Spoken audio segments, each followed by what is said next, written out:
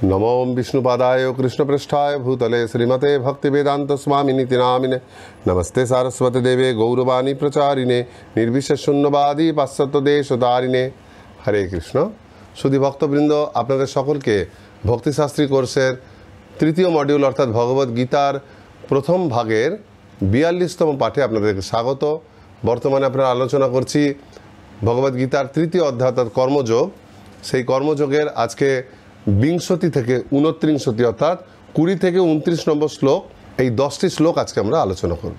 এর পূর্বে অর্থাৎ দশ থেকে ষোলো সংখ্যক শ্লোকে কৃষ্ণ অর্জুনকে বোঝাচ্ছিলেন যে কর্মযোগ অনুশীলনে তুমি যদি অক্ষম হও, তাহলে তুমি কর্মকাণ্ড অনুশীলন করো, কিন্তু জ্ঞানযোগ অনুশীলন করো না। তারপর সতেরো সংখ্যক শ্লোক থেকে চব্বিশ সংখ্যক শ্লোকে এবার তিনি বোঝাচ্ছেন যে এমনকি তুমি যদি জ্ঞানযোগ অনুশীলনে সমর্থ হও তাহলেও তুমি কর্মযোগ অনুশীলন করো, কারণ এইভাবে তুমি দৃষ্টান্ত স্থাপন করবে। এই অংশের উনিশতম শ্লোক পর্যন্ত গত পাঠে আমরা আলোচনা করেছি এবং সেখানে আমরা এই সিদ্ধান্তে এসেছি যে যারা আত্মজ্ঞানী ব্যক্তি, যারা আত্মতৃপ্ত ব্যক্তি, যাদের কোনো ব্যক্তিগত ফল ভোগের ইচ্ছা নেই, তাদের কোনো ব্যক্তিগত কর্তব্য কর্মও থাকে না। আবার কোনো কর্মে লিপ্ত হলে তার জন্য কোনো নিষেধাজ্ঞাও থাকে না। অর্থাৎ তারা যখন অনাসক্ত হয়ে কোনো কর্ম সম্পাদন করেন, তাহলে সেই কর্ম সম্পাদন করার পরও তারা কিন্তু ফল মুক্ত থাকেন। এইরূপ স্তরের উন্নত কৃষ্ণ ভক্ত তাই কৃষ্ণের সন্তুষ্টি বিধানের জন্য বা কৃষ্ণ ভক্তি প্রচারের অনুকূলে যা কিছু হয়, সেই আনুকূল্যেই তারা কর্ম করেন। যাতে অন্যান্যরাও তাদের সেই রকম কর্ম করার দৃষ্টান্ত দর্শন করে তাদের অনুসরণ করবেন এবং একাধারে সকলের উন্নতি হবে। সেই প্রসঙ্গে এরপর আমরা আলোচনা করব এখন বিংশতি থেকে চতুর্বিংশতি, অর্থাৎ কুড়ি থেকে চব্বিশতম শ্লোক, আর এই পাঁচটি শ্লোকে এই কথারই দৃষ্টান্ত দেওয়া হয়েছে। সর্বপ্রথম ভগবান বিংশতি শ্লোকে বলছেন কর্মনৈব হি সংসিদ্ধিম, অস্থিতা জনকাদয় লোক সংগ্রহমে বাপি, সংপশ্যন কর্তুমর্হসি অনুবাদ, জনকাদি রাজারাও কর্ম দ্বারাই সংসিদ্ধি প্রাপ্ত হয়েছিলেন, অতএব জনসাধারণকে শিক্ষা দেওয়ার জন্য তোমার কর্ম করা উচিত। পূর্বের যে শ্লোকে আমরা আলোচনা করেছিলাম যে যারা উন্নত, আত্মতৃপ্ত বা আত্মজ্ঞানী ব্যক্তি, তাদের এই জগতে কর্ম করার কোনো প্রয়োজন নেই, অথবা তারা যদি কোনো কর্ম করেও তাতেও কোনো অসুবিধা নেই। এবং সেইটারই দৃষ্টান্ত এই শ্লোকে কৃষ্ণ দিচ্ছেন। শ্লোক প্রভুপাদ তাৎপর্যও লিখেছেন যে জনক মহারাজের কথা। জনক মহারাজ ছিলেন ভগবান রামচন্দ্রের শ্বশুর, অর্থাৎ ভগবানের অন্তরঙ্গা শক্তি, সেই সীতাদেবীর পিতা। সেই জন্য স্বাভাবিকভাবে তিনি ছিলেন চরম আত্মতত্ত্ব জ্ঞানী এবং মহান ভক্ত। সর্বদা তিনি চিন্ময় স্তরে অবস্থান করতেন।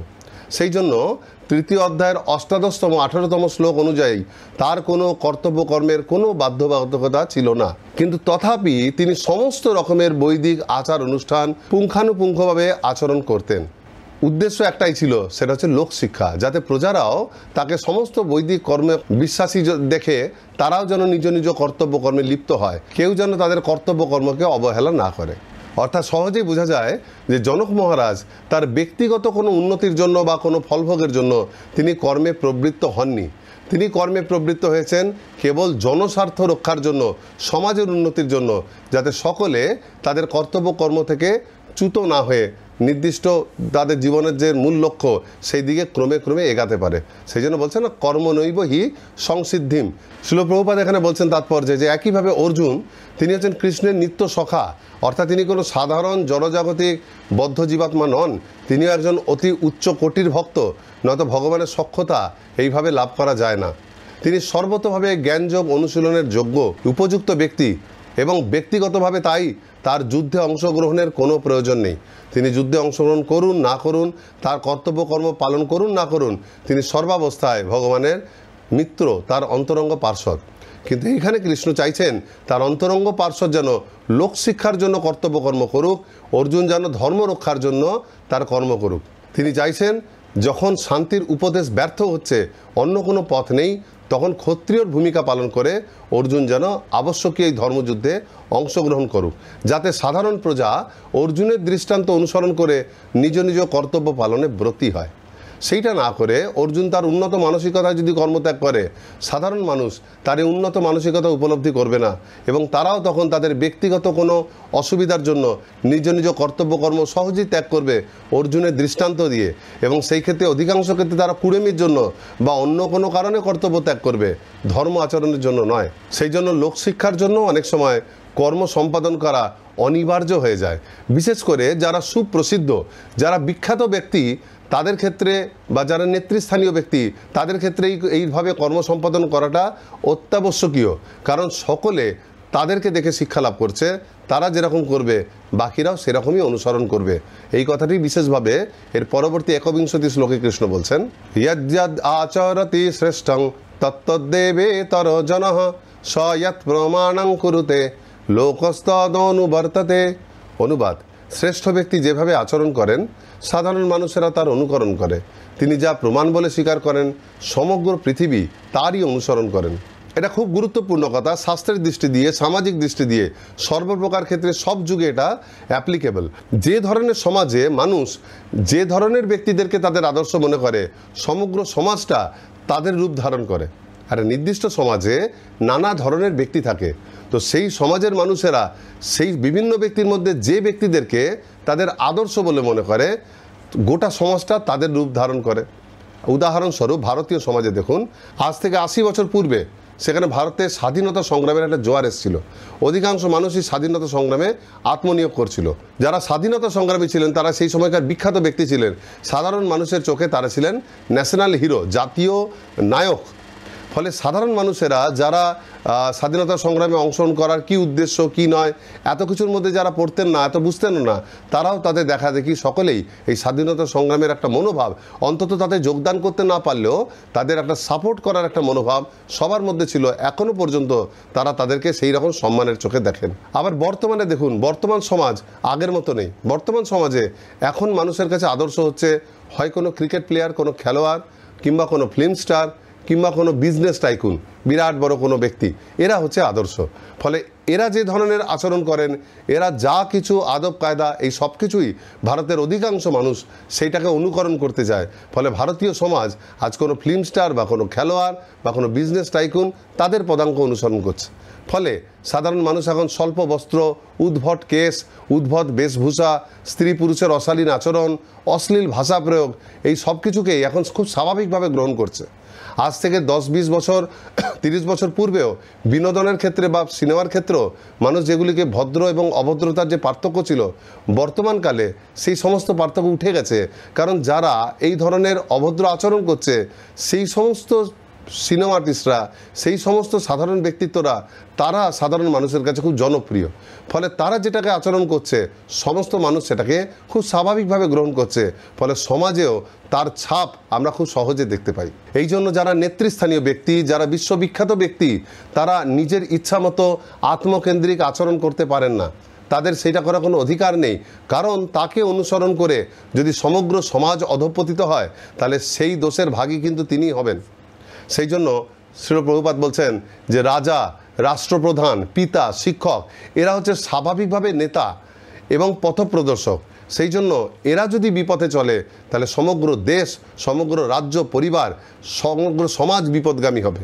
কারণ দেখুন একজন রাজা বা রাষ্ট্রপ্রধান, তারা একটা রাজ্য বা দেশ চালান, আর একজন পিতা, তার পুত্র, কন্যা, তাদের সবাই সেই পিতাকে থেকে শিক্ষা লাভ করে এবং একজন শিক্ষক সমাজের সমস্ত শিশুদেরকে তারা শিক্ষা দান করে, যোগ্য মানুষে পরিণত করে। এখন এই ধরনের ব্যক্তিত্বদেরকে নেতা হতে হয় না স্বাভাবিকভাবেই কিছু মানুষের চোখে নেতা যারা এদেরকে দেখেই জীবনে বড় হয়। সুতরাং এই ধরনের ব্যক্তিত্বরা যদি বিপদগামী হয়, তাহলে তাদের দেখা দেখি বাকি সবাই বিপদগামী হবে। এই ধরনের কথাই শ্রীমদ্ ভাগবতমে প্রথম স্কন্ধে একচল্লিশ অধ্যায় বলছেন, অথৈতানি ন সেবেত, বুভূষ পুরুষ ক্বচিত বিশেষত ধর্মশীল রাজা লোকপতির গুরু।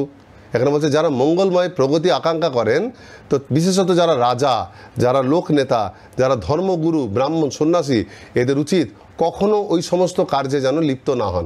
কোন সমস্ত কার্য?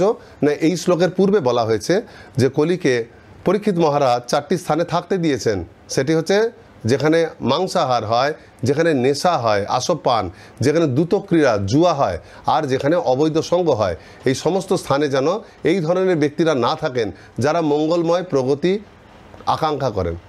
যেহেতু বর্তমানে এই ধরনের ব্যক্তিত্বদের অধিকাংশই বা বেশ একটা মেজর পোর্শন কোনো না কোনোভাবে ওই চারটি কাজের মধ্যে, কোনো না কোনো পাপের মধ্যে যুক্ত।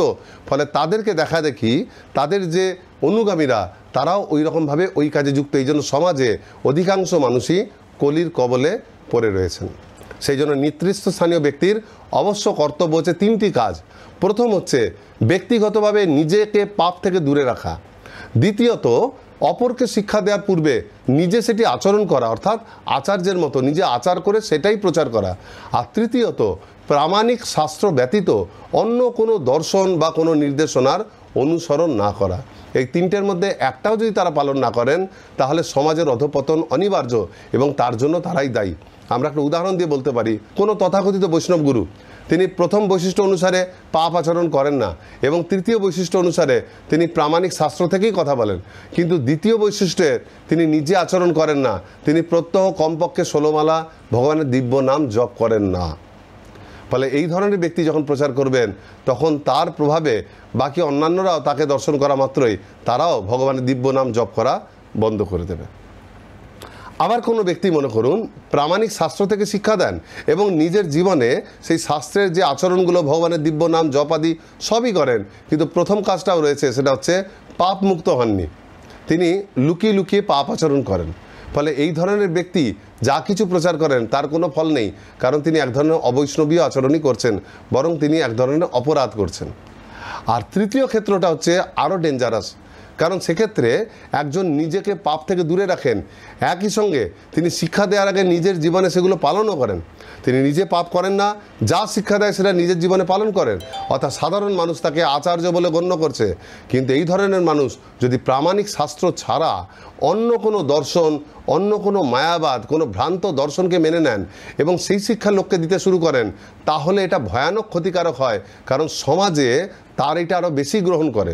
পূর্বের ক্ষেত্রে সমাজ যখন দেখে এই ব্যক্তি নিজে জব করে না, তারা তাকে রিজেক্ট করে দেয়। কেউ দেখে এই ব্যক্তি পাপি, তারা তাকে রিজেক্ট করে। কিন্তু এক্ষেত্রে ব্যক্তিটি পাপিও নন এবং তিনি নিজের জীবনে সব পালনও করেন। কিন্তু তিনি যে শিক্ষাটা দিচ্ছেন, সেই শিক্ষার মধ্যে গলদ আছে এবং এই ধরনের ব্যক্তিদের শিক্ষার জন্যই বর্তমানে ভারতীয় ব্যক্তিরা বিভিন্ন নানা ধরনের উল্টোপাল্টা আধ্যাত্মিক গুরুর খপ্পরে পড়ে তারা দিগ্ভ্রান্ত হচ্ছেন এবং ভগবানের যে প্রকৃত ভগবদ্গীতার শিক্ষা, সেখান থেকে দূরে চলে যাচ্ছেন। আমরা যেমন রামায়ণে দেখি যে ইন্দ্রজিৎ বা মেঘনাথ, সে রাবণের জন্য পিতৃসেবা করছে। সে পিতার প্রতি এতটাই অনুগত যে পিতার জন্য নিজের প্রাণ ত্যাগ করতেও তিনি পিছুপা হচ্ছেন না। সাধারণ মানুষ, বিশেষ করে বাঙালি মানুষেরা, এটির দ্বারা খুব আকৃষ্ট হয়। কিন্তু ভালো করে বুঝবেন যে যেখানে তার বিচার, মেঘনাথের বিচার করা উচিত, যে আমার পিতার যখন আমি সেবা করছি, তার যদি বিজয় হয়, তাহলে সেটা সমাজের পক্ষে কেমন? না, তাকে সর্বার পূর্বে দেখতে হবে। আমার পিতা হচ্ছে এই জগতে সমস্ত অধর্মের মূল কারণ এবং আমার পিতার কারণে সমস্ত জগতে অধর্ম ছড়াচ্ছে। সেই পিতাকে যে সাহায্য করবে, সেও অধর্মেরই সঙ্গী হবে। সেই জন্য মেঘনাথের পিতৃসেবা হচ্ছে বোকামি এবং নিষ্ফলা এবং সমাজের পক্ষে ক্ষতিকারক। তার ব্যক্তিগতভাবে ভালো, সমাজের পক্ষে ক্ষতিকারক। সেই জন্য সেক্ষেত্রে সে নিজে যদি পাপ নাও করে, নিজে যদি আদর্শ মেনেও চলে, কিন্তু সে একটা ভ্রান্ত ধারণার বশবর্তী হওয়ার জন্য তিনি কখনোই কারোর উপকার করছেন না, বরং অপকার করছেন। এখানে একটা উদাহরণস্বরূপ বলা যায়, ইংল্যান্ডের ষাটের দশকে একজন বিখ্যাত পপ গায়ক ছিলেন, তার নাম ছিল জর্জ হ্যারিসন। এই জর্জ হ্যারিসন, তিনি পূর্ব থেকেই কৃষ্ণের প্রতি এবং প্রাচ্য দেশের অতীন্দ্রিয়বাদের প্রতি আকৃষ্ট ছিলেন। নানাভাবে তারা বিভিন্ন রকম মন্ত্র জপ করার চেষ্টা করতেন। তো শিলপ্রভুপাদের সঙ্গে যখন তার দেখা হয়, শিলপ্রভুপাদ তাকে হরে কৃষ্ণ মহামন্ত্র জপের কথা বলেন এবং সেই মহামন্ত্র প্রচারের কথা বলেন। তিনি পূর্ণ মাত্রায় সেই সময় ভক্তি জীবনে প্রবেশ না করলেও মন দিয়ে হরে কৃষ্ণ মহামন্ত্র কীর্তন করেছিলেন, রেকর্ড করেছিলেন এবং সর্বত্র তিনি এই কীর্তনের প্রচার করেন। এবং তার দ্বারা প্ররোচিত হয়ে যারা কৃষ্ণের কথা কোনোদিন শুনেনি কিন্তু তিনি যেহেতু বিখ্যাত ব্যক্তি, তাকে পছন্দ করতেন, তো তারা অনেকেই এই কৃষ্ণ ভাবনায় যুক্ত হয়েছেন এবং কৃষ্ণ ভাবনমিত গ্রহণ করে তারা নিজের মনুষ্য জীবনকে সফল করেছেন। এর পূর্বে বিদেশিদের ধারণা ছিল যে প্রাচ্য সভ্যতায় ধ্যানের দ্বারা একটি অতিরিক্ত উন্নত স্তরে, পারমার্থিক স্তরে প্রবেশ করা যায় এবং নেশার দ্বারা সেই ধ্যানটি সবচেয়ে ভালো হয়। এই প্রথম জর্জ হ্যারিসন যখন বোঝালেন যে ধ্যানের পরিবর্তে আর নেশা করা তো খুবই খারাপ জিনিস, এই সবের পরিবর্তে শুদ্ধভাবে যখন কৃষ্ণ নাম করলে পরে, তার নাম কীর্তন করলে পরে কৃষ্ণকে পাওয়া যায়, তখন সাধারণ পাশ্চাত্যের মানুষ যারা ধ্যানের প্রতি, নেশার প্রতি আগ্রহী হয়ে পড়েছিলেন, তারা সেই বিপদগামী হওয়ার যে প্রবণতা, সেটাকে ত্যাগ করে সঠিক পথে ফিরে এলেন। এইভাবে আমরা দেখতে পাই যে ক্ষমতার দৃষ্টান্তের চাইতে দৃষ্টান্তের ক্ষমতা অনেক বেশি গুরুত্বপূর্ণ। ক্ষমতার দৃষ্টান্ত মানে ক্ষমতা প্রদর্শন করা। যেমন অনেক সময় দেখা যায় বিধর্মী ব্যক্তিরা জোর করে মানুষকে ধরে ধর্মান্তরণ করাচ্ছে। তাকে জোর করে একটা ধর্ম নিতে বাধ্য করছে। একটা ধর্মের মন্দির বা বিগ্রহ উপাসনার কেন্দ্র ধ্বংস করে দিচ্ছে। কিন্তু এইভাবে জোর করে তাকে ধর্মাচরণ করালেও বাকি মানুষেরা বরং তাদের প্রতি তাদেরকে ঘৃণার চোখে দেখে, তাদেরকে কখনো সম্মানের চোখে দেখে না। ফলে সেটি কার্যকরী হয় না। কিন্তু এইভাবে ক্ষমতার দৃষ্টান্ত প্রদর্শন করা অত শক্তিশালী নয়। কিন্তু দৃষ্টান্তের ক্ষমতা, অর্থাৎ বিখ্যাত ব্যক্তি যখন নিজে আচরণ করে লোককে দেখান, তখন তার ক্ষমতা এত পাওয়ারফুল তাকে দর্শন করে সকলে সেটা গ্রহণ করেন। যেমন শিল প্রভুপাদ তিনি সমগ্র বিশ্বে নিজে কৃষ্ণভক্তি আচরণ করে সেই দিব্য বাণী সবার কাছে প্রচার করেছেন। তো জর্জ হ্যারিসনের মতো আরও বিখ্যাত বিখ্যাত ব্যক্তি শিল প্রভুপাতকে দেখে আকৃষ্ট হয়েছেন। তিনি নিজে কৃষ্ণ নাম গ্রহণ করেছেন। আর সেই সমস্ত বিখ্যাত ব্যক্তিদেরকে দেখে আরও পৃথিবীর অন্যান্য মানুষেরা এই কৃষ্ণ নাম গ্রহণ করেছেন। সেই জন্য যারা জগৎবন্দিত, যারা নেতৃস্থানীয়, যারা গুরু বা আচার্য স্থানীয়, তাদের ব্যক্তিগত স্বার্থের জন্য কোনো রকম আচরণ করার কোনো অধিকার নেই। যেহেতু তাদের দিকে সাধারণ মানুষ তাকিয়ে রয়েছে, তারা যেমন আচরণ করবে, সবাই সেরকমই আচরণ করবে। তাই কোনো বিশেষ পরিস্থিতিতে তারা যদি তাদের কর্তব্যকর্ম না পালন করেন, সাধারণ মানুষ সেসব বুঝতে না পারে। তারা ওই ধরনের কর্ম করতে শুরু করবে বা সমস্ত কর্ম ত্যাগ করে অকর্মণ্য হয়ে পড়বে এবং সেই সমস্ত কিছুর দোষ কিন্তু সেই বিখ্যাত ব্যক্তিদেরই হবে, কারণ তাদেরকে দেখেই সমাজটা উচ্ছন্নে গেছেন। ঠিক এই কথাই কৃষ্ণ পরবর্তী তিনটি শ্লোকে পরপর বলছেন। এরপর বাইশ সংখ্যক শ্লোকে কৃষ্ণ বলছেন ন মে পার্থাস্তি কর্তব্যং, ত্রিষু লোকেষু কিঞ্চন, নানা বাপ্তমবাপ্তব্যং বর্ত এব চ কর্মণি। অনুবাদ, হে পার্থ, এই ত্রিজগতে আমার কিছুই কর্তব্য নেই, আমার অপ্রাপ্ত কিছু নেই এবং প্রাপ্তব্যও কিছু নেই, তবু আমি কর্মে ব্যাপৃত রয়েছি। এর পূর্বে কৃষ্ণ বলছিলেন না, যারা উন্নত জ্ঞানযোগী, যারা আত্মতত্ত্ব জ্ঞানী বা উন্নত কৃষ্ণ ভাবনাময় ভক্ত, তাদের যেহেতু কোনো ব্যক্তিগত চাওয়া পাওয়া থাকে না, সেই জন্য তাদের কোনো কর্তব্য কর্ম থাকে না। কিন্তু তথাপি তারা কর্ম করেন লোক শিক্ষার জন্য। যেমন একটু আগেই তিনি বললেন যে, পূর্বে জনকাদি রাজারা তারা কর্তব্য কর্মের মাধ্যমেই সংসিদ্ধি লাভ করেছিলেন। কিন্তু এমন নয় যে, জনক মহারাজ যদি কর্তব্যকর্ম না করতেন, তাহলে তার সিদ্ধি লাভ হতো না। এখানে বলছে তিনি উন্নত ভক্ত হওয়ার পরেও কর্তব্য কর্মের নিষ্কাম কর্মযোগের পথে চলেছিলেন। এখন সেই প্রসঙ্গে আর একটা জোরদার উদাহরণ দেওয়ার জন্য তিনি সর্বোচ্চ স্তরের উদাহরণকে খুঁজে নিয়েছেন। আর সেই সর্বোচ্চ স্তরের উদাহরণ হচ্ছেন পরমেশ্বর ভগবান, অর্থাৎ কৃষ্ণ, স্বয়ং তার নিজের দৃষ্টান্ত দিচ্ছেন। তিনি সমস্ত কর্মের নিয়ন্ত্রা, কর্মফল প্রদাতা, তিনি মুক্তি প্রদাতা। সেই জন্য বলছেন না ত্রিশু লোকেশু কিঞ্চন। এই সমগ্র ত্রিভুবনে এমন কিছু নেই যেটা তিনি চাইলে প্রাপ্ত হতে পারেন না বা এমন কিছু নেই যেটা তার কাছে নেই। এই প্রথমবার কিন্তু কৃষ্ণ ভগবদ্গীতায় নিজের পরমেশ্বরত্ব স্বীকার করছেন এবং দীপ্ত কণ্ঠে ঘোষণা করছেন। এর পূর্বে তিনি দ্বিতীয় অধ্যায়ের একষট্টি শ্লোকে একটু বলেছিলেন, যুক্ত আসিত মত, যে যে ব্যক্তি আমার পরায়ণ হয়, কৃষ্ণ পরায়ণ হয়ে কর্ম করে, তার কথা একবার তিনি বলেছিলেন। এখানে শিলপ্রভুপাদ শ্বেতাশতর উপনিষদ থেকে এখানে উদাহরণ দিয়ে বলছেন, কৃষ্ণের যে পরম পথ, সেটা তিনি ব্যাখ্যা করছেন। এখানে শিলপ্রভুপাদ বলছেন না, ঈশ্বরানাং পরমং মহেশ্বরম। তা তিনি হচ্ছেন পরম ঈশ্বর, সমস্ত ঈশ্বরের মধ্যে পরম মহেশ্বর, দেবতানাং পরম দৈবতং। তিনি দেবতাদেরও দেবতা, সকলের উপরে পতিং পতিনাং পরমং পরস্তাদ তিনি সমস্ত পতি, সমস্ত কিছু যার স্বামী, সেই সমস্ত আধিকারিক দেবতাদেরও তার, তিনি হচ্ছেন পতি। সেখানে তিনি হচ্ছেন সমস্ত কারণের পরম কারণ। ন তস্য কার্য কারণং ন বিদ্যতে। অর্থাৎ তার কোনো কার্যের অন্য কোনো কারণ থাকতে পারে না। সমস্ত কিছুর কারণ হচ্ছেন তিনি, তার কারণ অন্য কিছু হতে পারে না। তার সত্তা দিব্য, এই শ্লোকগুলোতে বলা হচ্ছে তার অর্থ তার দিব্য সত্তা। তার দেহ, আমাদের দেহ আত্মার মতো তার দেহ, জড় শরীর নয়, তার চিন্ময় দিব্য শরীর। তার দেহ আত্মায় কোনো বিভেদ নেই। সেখানে শেষে বলছেন না পরাস্য পরাস্য শক্তির বিবিধৈব শ্রুয়াতে স্বাভাবিকই জ্ঞান ও বল ক্রিয়া আচ। অর্থাৎ ভগবান, পরমেশ্বর ভগবানের শক্তি হচ্ছে বহুমুখী। তার সমস্ত কর্ম ইচ্ছা মাত্র অটোমেটিক্যালি স্বাভাবিকভাবে হয়ে যায়। তার জ্ঞান, বল এবং ক্রিয়ার দ্বারা। তার সবচেয়ে বড় শক্তি হচ্ছে ইচ্ছা শক্তি। তাকে সেগুলি প্রাপ্ত হতে হয় না। তার ইচ্ছা হওয়া মাত্র সাধিত হয়ে যান। সেই জন্য ভগবান বলছেন না, ন অনাব্যাপ্তম, অব্যাপ্তব্যম। অর্থাৎ এমন কিছু নেই যেটা তিনি প্রাপ্ত হতে পারেন না, বা এমন কিছু রয়েছে যেটা যেটা তার কাছে নেই। যেহেতু তিনি পরমেশ্বর ভগবান, সেই জন্য তার কাছে সব কিছু পূর্ণ মাত্রায়, নিত্য চিন্ময় রূপে তার মধ্যে বিরাজমান। তাই স্বাভাবিকভাবে তার যেহেতু কোনো চাওয়া পাওয়া নেই, তাই তার কোনো কর্তব্য কর্ম থাকতে পারে না। তথাপি কৃষ্ণ এখানে উদাহরণ দিয়ে বলছেন, দৃষ্টান্ত স্থাপন করে যে আমি স্বয়ং তোমাকে যে উপদেশ দিচ্ছি দৃষ্টান্ত স্থাপন করার, আমি নিজেও কিন্তু দৃষ্টান্ত স্থাপনের জন্য সদা সর্বদা কর্মে নিযুক্ত রয়েছি।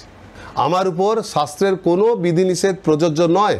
আমি সমস্ত বিধিনিষেধের উপরে তথাপি যাতে সকলে শাস্ত্রবিধি মেনে চলেন, সেজন্য আমি স্বয়ং সমস্ত শাস্ত্রের নির্দেশ সর্বদা মেনে চলি। কারণ যদি আমি মেনে না চলি, তাহলে কি হতে পারে?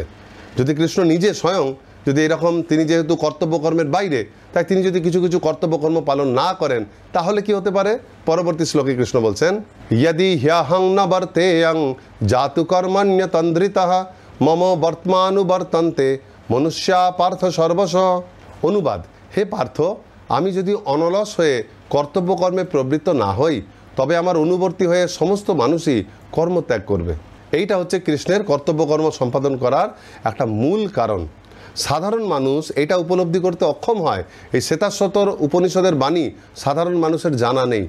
জানলেও তারা এটা উপলব্ধি করতে পারেন না যে পরমেশ্বর ভগবান সব কিছুর উপরে কোনো শাস্ত্র, বিধি, নিষেধ তার উপর প্রযোজ্য নয়। তার কোনো কর্তব্যকর্ম থাকতে পারে না। সাধারণ মানুষ এটা বোঝে না। তারা যখন পরমেশ্বর ভগবানের কোনো লীলা দেখে, তারা আশা করে যে ভগবান নিজেও যেন সমস্ত নিয়ম কানুন যেন পালন করে। এবং তারা তখন তাকে অনুকরণ করে তাদের কর্তব্যকর্মগুলো পালন করে। তাই তারা যদি দেখে যে পরমেশ্বর ভগবান কোনো নির্দিষ্ট ধর্ম আচরণ করছেন না, কর্তব্য পালনে অবহেলা করছেন, তখন তারাও তাকে নকল করতে গিয়ে তাকে অনুকরণ করে তারাও কর্তব্যকর্ম জলাঞ্জলি দেবে। কৃষ্ণ আবির্ভূত হয়েছেন না ধর্ম সংস্থাপনার্থায় ধর্ম স্থাপনের উদ্দেশ্যে।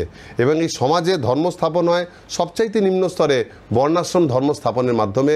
যে যার ব্রাহ্মণ, ক্ষত্রিয়, বৈশ্য, শূদ্র, তাদের ব্রহ্মচর্য, গারস্থ, বানপ্রস্থ, সন্ন্যাস, নিজ নিজ বর্ণ এবং আশ্রমে উপস্থিত থেকে সেই সমস্ত কর্তব্যকর্ম পালন করবেন যাতে সমগ্র সমাজটা ক্রমে ক্রমে পারমার্থিক পথে উন্নত হয়। তো এই ক্ষেত্রে কৃষ্ণ সেই আচার্যের মতো নিজেও ধর্ম পালন করছেন। সমস্ত বর্ণ এবং আশ্রমের কর্তব্য পালন করে দৃষ্টান্ত স্থাপন করছেন যে আমি নিজেও কিন্তু এইগুলো খুব ভালোভাবে পালন করি, যাতে সবাই তাকে দর্শন করে তার মতো সমস্ত কর্তব্য কর্ম পালনে ব্রতী হয়।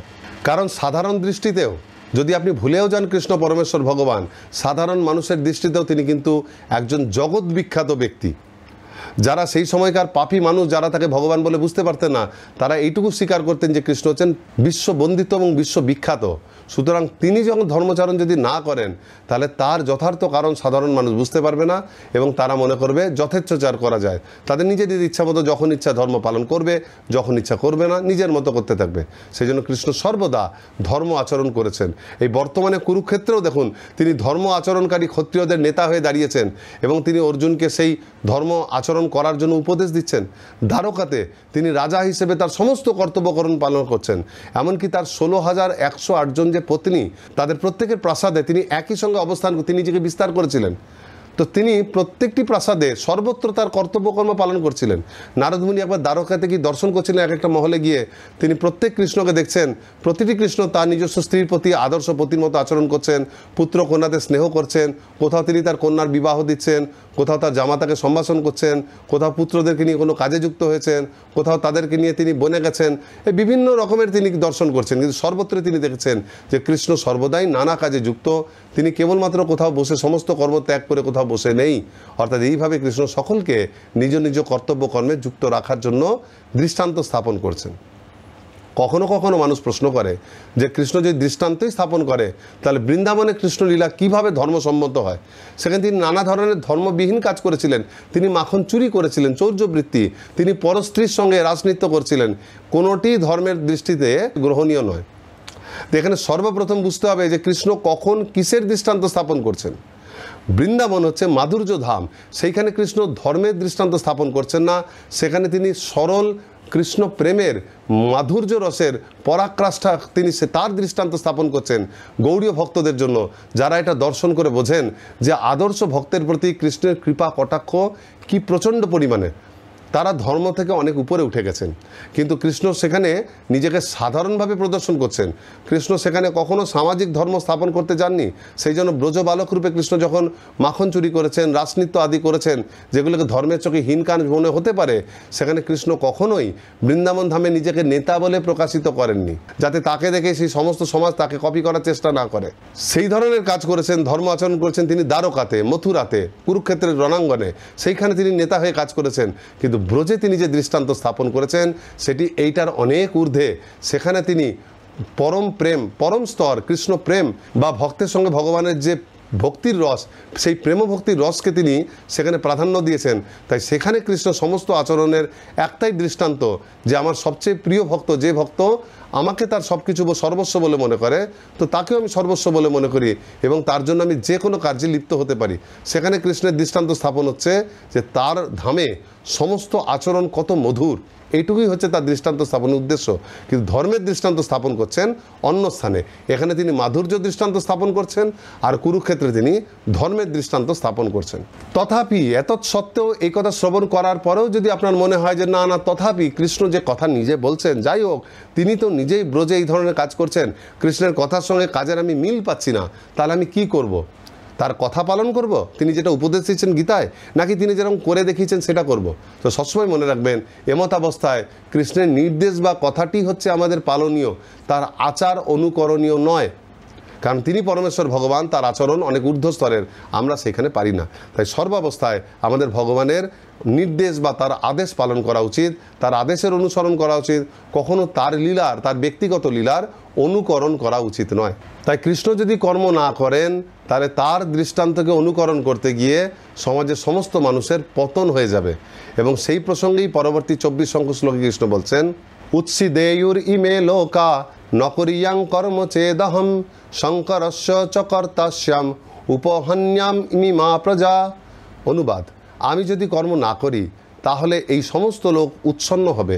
আমি বর্ণসংকর সৃষ্টির কারণ হব এবং তার ফলে আমার দ্বারা সমস্ত প্রজা বিনষ্ট হবে। ওই একই কথা বলছেন কৃষ্ণ, যদি আমি এরকম কাজ করি, আমার দেখা দেখি লোকে এমন একটা কাজ করতে শুরু করবে, যার ফলে তারা বর্ণসংকরের জন্ম দিয়ে ফেলবে? এই প্রসঙ্গে এখানে তাৎপর্য ছিল প্রভুপাদ শ্রীমদ্ ভাগবতমের দশম স্কন্ধের তেত্রিশ অধ্যায় রাস পঞ্চাধ্যায়ের শেষ দিকের একটা শ্লোক তুলে বলছেন না? নৈতৎ সমাচারের জাতু মনুষ্য আপি হানিশ্বর তিনি বলছেন, ওখানে উপদেশ দিয়ে, যারা একটু বুদ্ধিমান, তারা উপদেশের অনুসরণ করেন, অনুকরণ করেন না। নয়তো কি হবে? না জ্ঞানীশ্বর যার ঈশ্বর ক্ষমতাপ্রাপ্ত ব্যক্তি, সেই সেই সমস্ত মানুষকে কপি করতে গেলে আমাদের পতন হবে। যদি তারা রুদ্রকে নকল করতে গিয়ে, শিবকে নকল করতে গিয়ে, অনুকরণ করতে গিয়ে, বিষ পান করে বসে থাকে, তাহলে তারা তাদের মৃত্যুকে ডেকে আনবে। আসলে এখানে পরীক্ষিত মহারাজ জিজ্ঞেস করেছিলেন সুখদেব গোস্বামীকে একই কথা, যে কৃষ্ণ ধর্ম সংস্থাপনের জন্য এসে তিনি কীভাবে পরস্ত্রীদেরকে সঙ্গে রাজনীতি করলেন, তো লোকে এখান থেকে ভুল শিক্ষা লাভ করবে। তখন সুখদেব গোস্বামী বলছেন যে এই রাস পঞ্চাধ্যায় শ্রবণ করার পর ভগবানের দিব্য লীলাকে যারা ভুল বুঝবে, যারা ঈশ্বরের বা পরমেশ্বর ভগবানের অনুকরণ করার চেষ্টা করবে তো তারা এই রকমভাবে রুদ্রের বিষপানকে নকল করতে গিয়ে তারা মৃত্যুকেই ডেকে আনবে। কখনো ভগবানকে অনুকরণ করা উচিত নয়। অনেক সময় ভগবান বা তার শক্তিপ্রাপ্ত আধিকারিক দেবতাগণ তাদের ঈশ্বরত্ব প্রকাশের জন্য বিশেষ বিশেষ ক্ষেত্রে কোনো অত্যাশ্চর্য লীলা করেন এবং লীলা করে তারা প্রমাণ করেন যে তারা জড় প্রকৃতির নিয়মের ঊর্ধ্বে। কখনোই সেই সমস্ত কাজ অনুকরণযোগ্য নয়। যেমন সাধারণ মানুষ শিবের বিষপানকে নকল করতে যায় এবং তারা ভাং খেয়ে বসে থাকে এবং তার ফলে তারা একরকমভাবে তারা দৈহিক দিক দিয়ে, সামাজিক দিক দিয়ে পতিত হয়ে যায়। সাধারণ মানুষও তারা কৃষ্ণের লাসলীলার প্রতি খুব আসক্ত এবং তারা বহু একসঙ্গে বহু স্ত্রী উপভোগ করতে চায়। তারা ভগবানকে কপি করতে চায়। কিন্তু তারা কখনো ভগবানের গোবর্ধন লীলাকে কপি করতে পারে না। তারা সবসময় গোপীজন বল্লভ হতে চায়, কিন্তু গিরিবরধারী হতে পারে না। তো সুতরাং তাদের বোঝা উচিত যে আমরা যেমন কৃষ্ণের মতো গিরি গোবর্ধনকে নিজের একটা কেন সমস্ত দু হাত দিয়ে তুলে ধরতে পারি না, সেজন্য আমাদের পক্ষে ভগবানের এই ধরনের আচরণকে অনুকরণ করা পারমার্থিক জীবনে মৃত্যু ডেকে আনবে। এই প্রসঙ্গে, এই শ্লোকে কৃষ্ণ যে কথা বলছেন, সেটা অর্জুনের একটা পূর্বের প্রশ্নের উত্তর। পূর্বে অর্জুন সৈন্য নিরীক্ষণ যুগে চল্লিশ সংখ্যক শ্লোকে বলেছেন যে, যদি আমি যুদ্ধে অবতীর্ণ হই, তাহলে যুদ্ধে যদি এত পরিমাণ ক্ষত্রিয় মারা যায়, তাহলে যুদ্ধের ফলে সমস্ত কুলস্ত্রীরা বিধবা হবে, তাদেরকে কন্ট্রোল করার কেউ থাকবে না। এবং তারা যদি অসচ্চরিত্রা হয়ে যায়, তাহলে তারা পরবর্তীকালে, যদি প্রকৃত ক্ষত্রিয়ের অভাবে অক্ষত্রিয় ব্যক্তিদের সঙ্গে মেলামেশা করবে। ফলে বর্ণশঙ্কর সন্তানের জন্ম দেবে। যারা সমাজের সমস্ত কুলের যে ধর্ম আচরণ সেগুলো তুলে দেবে, তার ফলে সমস্ত কুলক্ষয় ঘটবে। কৃষ্ণ বলছেন, অর্জুনকে, যদি তুমি যুদ্ধে সাহায্য না করো, তাহলে ক্ষত্রিয়রা তোমার দেখা দেখি অধার্মিকদের অধর্মের বিরুদ্ধে আর প্রতিবাদ করবে না। তারা দেখবে যে অর্জুনের আত্মীয় যখন অধর্ম করেছিল, তখন অর্জুন কোনো প্রতিবাদ করেনি, আমরাও করব না। এইভাবে ক্ষত্রিয়রা যদি অধর্মের প্রতিবাদ না করে, তাহলে অধার্মিক ব্যক্তিদের জয় হবে, তারা সমাজের নেতৃত্ব দেবে। আর এই অধার্মিক ব্যক্তিরা নেতৃত্ব দেবে বলে তারা স্ত্রীদেরকে প্ররোচিত করে অবাঞ্ছিত বা নিম্ন সংস্কৃতিতে টেনে আনবে এবং তাদের সঙ্গে মেলামেশার ফলেই অবাঞ্ছিত প্রজন্মের জন্ম হবে। তারা সব রকমের সংস্কারকে লুপ্ত করে দেবে এবং কোনো রকম আর ধর্ম আচরণ করবে না।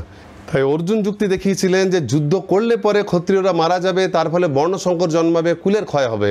কিন্তু এখানে কৃষ্ণ বলছেন অ্যাকচুয়ালি ধর্মযুদ্ধে অধার্মিকদের বিরোধিতা না করলে, যুদ্ধে অংশগ্রহণ না করলে অধার্মিকরা বেঁচে থাকবে এবং তার দেখা দেখি সবাই নিজ কর্তব্য কর্ম অবহেলা করবে। ফলে সমাজ থেকে তাহলে সমাজের সকলে উচ্ছন্নে যাবে, কেউ আর নিজের কর্তব্য কর্ম পালন করবে না। তাহলে গোটা জাতিটাই বর্ণসংকর হয়ে যাবে। এবং কৃষ্ণ নিজেই তার দায় স্বীকার করছেন। তিনি বলছেন, আমি যদি কর্ম করা বন্ধ করি, আমাকে দেখা দেখি সকলেই কর্তব্য কর্ম পালনে অবহেলা করবে, তার ফলে সকলে উচ্ছন্ন যাবে, তার দায়ী আমি হব। তাই স্বয়ং ভগবান সমস্ত বিধিনিষেধের ঊর্ধ্বে সমস্ত কর্মফল এবং মুক্তির প্রদাতা হয়েও কৃষ্ণ স্বয়ং দৃষ্টান্ত স্থাপনের জন্য কর্ম করছেন। তার কোথাও কিছু পাওয়ার নেই, তার কোনো কিছু অপ্রাপ্তব্যও কিছু নেই। তথাপি সাধারণ জনগণের আমাদের মতো বদ্ধ জীবাত্মার উন্নতির জন্য, তাদের মুক্তিদানের জন্য তিনি লোকশিক্ষা হেতু কর্তব্যকর্ম পালন করছেন। সেই জন্য অর্জুনের কাছ থেকেও তিনি সেটাই আশা করছেন যে অর্জুনও যেন কর্মত্যাগ না করে লোকশিক্ষার জন্য যেন তিনি কর্ম কর্তব্যকর্ম করেন। তাই কীভাবে এই ধরনের কর্তব্য কর্ম করা উচিত, এইটা তিনি এবার পরের শ্লোকে অর্জুনকে বলছেন। শক্তা কর্মণ্য বিদ্বাংস, যথা কুর্বন্তি ভারত কুরিয়াত বিদ্বং তথা শক্ত চিকিৎসুর লোক সংগ্রহম অনুবাদ, হে ভারত, অজ্ঞানীরা যেমন কর্মফলের প্রতি আসক্ত হয়ে তাদের কর্তব্য কর্ম করে, তেমনি জ্ঞানীরাও অনাসক্ত হয়ে মানুষকে সঠিক পথে পরিচালিত করবার জন্য কর্ম করবেন। এই পঁচিশ সংখ্যক শ্লোক থেকে এখানে একটা নতুন অংশ শুরু হলো। এতক্ষণ কৃষ্ণ অর্জুনকে বোঝাচ্ছিলেন যে তুমি দৃষ্টান্ত স্থাপনের জন্য অনাসক্তভাবে কর্ম করো। এখন এই পঁচিশ থেকে উনত্রিশ পর্যন্ত এই পাঁচটি শ্লোকে কৃষ্ণ অর্জুনকে বোঝাচ্ছেন যে কর্মযোগ আর কর্মকাণ্ডের কি পার্থক্য। যারা ফল গ্রহণের জন্য নিজের স্বার্থে কর্ম করে আর যারা দৃষ্টান্ত স্থাপনের জন্য কর্ম করে, সেই কর্মগুলো দেখতে এক হলেও তারা এক নয়। আসলে এটা বলার উদ্দেশ্য এটাই। অর্জুন হয়তো প্রশ্ন করতে পারেন যে, ঠিক আছে, বুঝলাম, আমার লোকের উপকারের জন্য কর্ম করা উচিত। কিন্তু কর্ম করতে গিয়ে যদি আমি ফলের প্রতি আসক্ত হয়ে যাই, সাধারণ মানুষ ওই কর্মগুলো করেই তো ফলের প্রতি আসক্ত হয় এবং কর্মফলে আবদ্ধ হয়। তাহলে আমি লোককে উদ্ধার করতে গিয়ে যদি আমার নিজের পতন হয়ে যায়, সেই জন্য কৃষ্ণ এখানে জানাচ্ছেন যে, দুই প্রকারের ব্যক্তি হয়। এখানে দুই প্রকারের ব্যক্তির কথা বলছেন। একটা হচ্ছে অজ্ঞানী আর একটা হচ্ছে জ্ঞানী। এরা দুজনেই কর্ম, কর্তব্য কর্ম পালন করেন, কিন্তু পার্থক্য এইটা, অজ্ঞানী এই কর্তব্য কর্ম পালন করে তার ফল ভোগের প্রতি প্রবলভাবে আসক্ত। কিন্তু সেইখানে জ্ঞানী, তিনি জড় ফলের প্রতি অনাসক্ত। তাই এই ধরনের ব্যক্তি তারা ফল ভোগের জন্য কর্ম না করে, কৃষ্ণ ভাবনায় উন্নতির জন্য কর্ম করেন। কিন্তু বাইরে থেকে উভয়কেই মনে হয় যে তারা নিজ নিজ কর্তব্য কর্ম পালন করছেন। এখানে বাহ্যিকভাবে তাদের কর্মের কোনো পার্থক্য নেই। পার্থক্য কেবল তাদের মানসিকতার পার্থক্য। অজ্ঞানী ফলাকাঙ্ক্ষী তার সে সমস্ত কর্তব্য কর্ম পালন করেন পূর্ণ ফল লাভের জন্য, যার ফলের দ্বারা তিনি স্বর্গাদি লোক বা সেখানকার ভোগ বাসনা তারা এইটার আকাঙ্ক্ষা করেন এবং সেই জন্য তারা উন্নতি তাদের তো হয়, কিন্তু তবুও তারা কর্মবন্ধনে আবদ্ধ থাকেন। আর এটা হচ্ছে কর্মকাণ্ডীয় আচরণ। কিন্তু যারা জ্ঞানী হন, তারা কেবল কর্তব্য কর্ম মনে করে কর্মটিকে করেন। সেটা কেবলমাত্র কৃষ্ণের সন্তুষ্টির জন্য। তা নিজেদের যেহেতু তাদের কোনো ফলভোগের বাসনা থাকে না, তাদের এর ফলে কেবল আধ্যাত্মিক উন্নতি হয়। আর তার উদ্দেশ্য একটাই থাকে সামগ্রিকভাবে গোটা সমাজকে কৃষ্ণ ভাবনাময় বা ধার্মিক করে তোলা। সেই জন্য তারা সর্বদাই জড় কর্মবন্ধন থেকে মুক্ত থাকেন এবং এটাই হচ্ছে কর্মযোগ। সেই জন্য যারা কর্মযোগী, তারা কর্মকাণ্ডীয়দের মতো দুজনেই বৈদিক নিয়মাদি পালন করলেও কর্মকাণ্ডীয়রা এত কিছু করেও জড়বন্ধনে আবদ্ধ থাকে, কিন্তু কর্মযোগীরা ওই একই ধরনের কর্ম করেও কিন্তু তারা সবসময় এখান থেকে মুক্ত থাকেন, কারণ তাদের মানসিকতা ভিন্ন ভিন্ন। আমরা যদি কৃষ্ণ ভক্তদের মধ্যে দেখতে যাই, তা দেখবেন আন্তর্জাতিক কৃষ্ণ ভাবনামৃত সংঘ বা ইস্কনে ভক্তদের মধ্যে প্রথম দিকে ব্রহ্মচারী এবং সন্ন্যাসীদের সংখ্যা অনেক বেশি ছিল। সাধারণ মানুষ এই ধরনের বৈরাগী মানুষদেরকে দেখে তারা ভয় পেয়ে যেতেন। তাদের মনে হতো যে কৃষ্ণ ভক্তি এই সংসারে থেকে করার জিনিস নয়। কৃষ্ণ ভক্তি করতে গেলে তাকে বাড়িঘর ছেড়ে দিয়ে মন্দিরে গিয়ে থাকতে হয়। কিন্তু যখন শিলপ্রভুপাদের গৃহস্থ ভক্তদের সংখ্যা বাড়ল, বা বর্তমানে এটা একটা কংগ্রিগেশন প্রিচিং সেখানে গৃহস্থ প্রচারের সংখ্যাটা অধিক তো সেই তারা যখন দেখে যে কৃষ্ণ ভাবনাময় দীক্ষিত গৃহস্থ ভক্তেরা, তারা যেমন ভক্তি অনুশীলন করছে, সেই একই সঙ্গে তারা তাদের পরিবারের দায়িত্ব নিচ্ছে, সমাজের প্রতি তাদের যা কর্তব্য কর্ম, সাধারণ নাগরিক হিসেবে সব পালন করে সুন্দরভাবে কৃষ্ণ ভক্তি অনুশীলন করছেন, তখন সাধারণ মানুষ সেটির প্রতি আকৃষ্ট হচ্ছে। এখন এই ধরনের গৃহস্থ ব্যক্তি উচ্চকোটির গৃহস্থ ভক্ত, তাদের গৃহে বা সংসারে কোনো কর্তব্যকর্ম থাকতে পারে না। তারা যেহেতু পূর্ণ মাত্রায় কৃষ্ণ ভক্তিতে যুক্ত, তাই তাদের কোনো কর্তব্যকর্ম পালন না করলেও কিছু যায় আসে না। কিন্তু তারা যেহেতু সমাজের মধ্যে রয়েছেন এবং বাকি লোকেরা তাদেরকে দেখে অনুকরণ করবেন বা শিক্ষা গ্রহণ করবেন, তাই সকলের দৃষ্টিতে দৃষ্টান্ত স্থাপনের জন্য তারা তাদের প্রত্যেকটি কর্তব্যকর্ম একদম পুঙ্খানুপুঙ্খভাবে আচরণ করেন। আর এইভাবে আচরণ করেন বলে তাদের এই আচরণের দ্বারা সমাজের সমস্ত বর্ণের মানুষের একসঙ্গে উপকার হয়। তাই প্রচারের স্বার্থে বা কৃষ্ণ ভক্তির স্বার্থে তারা দৃষ্টান্ত স্থাপন করে থাকেন। এই প্রচারের প্রসঙ্গেই কৃষ্ণ পরবর্তী শ্লোকে আরও বলছেন ন বুদ্ধি ভেদং জনয়েদ অজ্ঞানং কর্ম সঙ্গিনাম যোশয়েদ সর্বকর্মাণি বিদ্বান যুক্ত সমাচরণ। অনুবাদ, জ্ঞানবান ব্যক্তিরা কর্মাসক্ত জ্ঞানহীন ব্যক্তিদের বুদ্ধি বিভ্রান্ত করবেন না, বরং তারা ভক্তিযুক্ত চিত্তে সমস্ত কর্ম অনুষ্ঠান করে জ্ঞানহীন ব্যক্তিদের কর্মে প্রবৃত্ত করবেন। জ্ঞানী এবং অজ্ঞানী বা অন্য ভাষায় কর্মকাণ্ডীয় ব্যক্তি এবং কর্মযোগী, এদের মধ্যে পার্থক্য বুঝিয়ে দেওয়ার পর এবার কৃষ্ণ এই শ্লোকে বলছেন, একজন কর্মযোগী, তিনি কি করে একজন কর্মকাণ্ডীয় ব্যক্তিদের প্রতি তার মনোভাবটা কেমন হবে? তো তিনি বোঝাচ্ছেন যে জ্ঞানী জানেন সমস্ত বৈদিক আচার অনুষ্ঠান, এই সব কিছুর পরম লক্ষ্য হচ্ছে পরমেশ্বর ভগবান শ্রীকৃষ্ণকে উপলব্ধি করা, তার সেবায় যুক্ত হওয়া। এছাড়া কোনো বৈদিক কর্তব্য কর্মের কোনো গুরুত্ব নেই। কিন্তু এটা তিনি জানেন বলে, এটা তিনি সাধারণ অজ্ঞানী বা কর্মাসক্ত ব্যক্তিদের বলে বিভ্রান্ত করবেন না। কারণ তারা কৃষ্ণের প্রতি আকৃষ্ট নয়, তারা ফল ভোগের প্রতি আকৃষ্ট এবং ফল ভোগের জন্য তারা ধর্ম আচরণ করছেন। সুতরাং এইরকম কথা বললে তারা সঙ্গে সঙ্গে সমস্ত কর্তব্যকর্ম ত্যাগ করে অলস তামসিক ব্যক্তিতে পরিণত হবেন। তাই একজন কৃষ্ণভক্ত সবসময় দেখবেন যে তিনি নিজের আচরণের মাধ্যমে কীভাবে তাদেরকে তারা যে আচরণগুলো করছেন, কর্মকাণ্ডীয় যে কাজকর্ম করছেন, বৈদিক অনুশীলন, সেইগুলো তারা কৃষ্ণের সন্তুষ্টির জন্য কীভাবে নিয়োজিত করতে পারেন, এইটা তারা প্রচেষ্টা করবেন। কিন্তু প্রাথমিকভাবে তাদের কোনোভাবে তিনি বুদ্ধিভ্রম ঘটাবেন না। যেমন একটি ছোট শিশু, তিনি যখন প্রথম পড়াশোনা করতে শুরু করে, যখন একটা ছোট বাচ্চা, তখন তার পড়াশোনার কোনো উদ্দেশ্য তার জানা থাকে না। তাকে বাবা মা বিভিন্ন লোভ দেখায় যে তুমি পড়ে ভালো রেজাল্ট করলে তোমার ক্লাস ওয়ানে তোমাকে এই খেলনা কিনে দেবো বা এটা কিছু কিনে দেবো, তারা তখন সেইটা পাওয়ার জন্য ভালো করে পড়াশোনা করে। কিন্তু পড়াশোনা করার মেন উদ্দেশ্য খেলনা বা কোনো লজেন্স চকলেট পাওয়া নয়। তার মূল উদ্দেশ্য হচ্ছে নিজের জীবনের কেরিয়ার তৈরি করা, যাতে ভবিষ্যতে সমাজে নিজেকে প্রতিষ্ঠা, প্রতিষ্ঠিত করতে পারে। তো সে যখন পরবর্তীকালে সেইটা উপলব্ধি করে যায়, তখন সে নিজেকে প্রতিষ্ঠা করার জন্যই কর্ম করে। কিন্তু সেটা পিতামাতা জানে, জানলেও ছোট শিশুকে সেটা জানাতে যায় না যে তুমি যে চকলেট বা খেলনার জন্য পড়াশোনা করছ এটা বেকার, এগুলোর কোনো গুরুত্ব নেই। তাহলে সে পড়াশোনা করাটাই বন্ধ করে দেবে। সেই জন্য প্রাথমিক ক্ষেত্রে সব কিছু ক্লিয়ার করে না বলে বরং তাদের কর্মটাকে সঠিক পথে চালানোটাই হচ্ছে একজন কৃষ্ণ ভাবনাময় প্রচারকের জীবনের মূল উদ্দেশ্য। দেখুন, এখনও পর্যন্ত আমরা যোগ, সিঁড়ির তিনটে ধাপ খুব ক্লিয়ার করে পড়েছি। সবচেয়ে নিচে হচ্ছে ফলাকাঙ্ক্ষা ফলাকাঙ্ক্ষায় করাকৃত যে কর্ম এটা বলে সকাম কর্ম, ফল ভোগের জন্য মানুষ যখন কর্ম করে, এর থেকে একটু উপরে হচ্ছে যে এখনও পর্যন্ত সে ফলাকাঙ্ক্ষায় কর্ম করছে, কিন্তু কৃষ্ণকে নিজের জীবনের পরম গতি বলে একটু উপলব্ধি করেছেন। সে বুঝতে পারছে যে কৃষ্ণই জীবনের সব, কিন্তু তবুও তার ফল ভোগের আশা এখন আকাঙ্ক্ষা রয়েছে। তো সেটা হচ্ছে সকাম কর্মযোগ।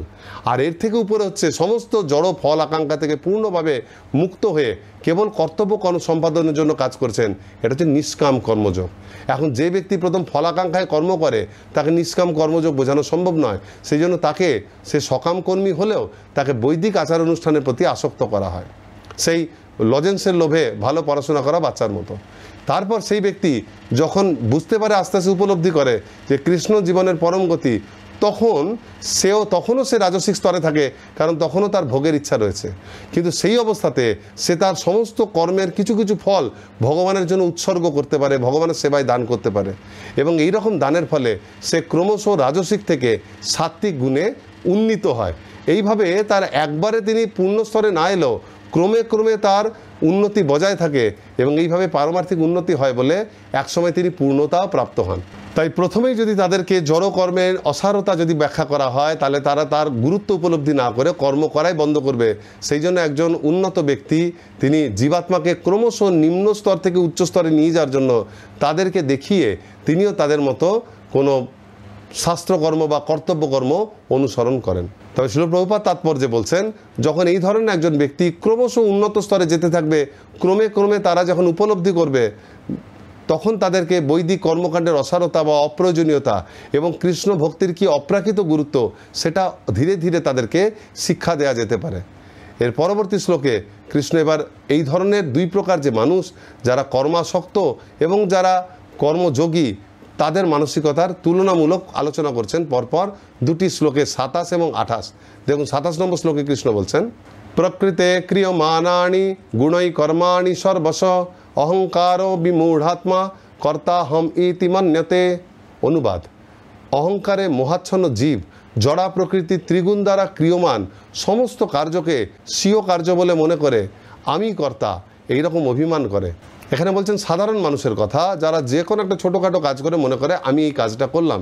কিন্তু জগতে এই জড়জগতে যা কিছু কর্ম করছে, সব কিন্তু প্রকৃতির গুণের দ্বারা হচ্ছে। তারা প্রকৃতির গুণের দ্বারা আয়োজিত কর্মের সমস্ত কৃতিত্ব তারা নিতে চায়। এমনকি প্রশ্ন করতে পারে যে প্রকৃতি যদি সব করল, তাহলে আমি কি করলাম? তাহলে আমার উপর কর্মের দায় কেন আসছে? আমার কি কোনো কর্মের ভূমিকা নেই?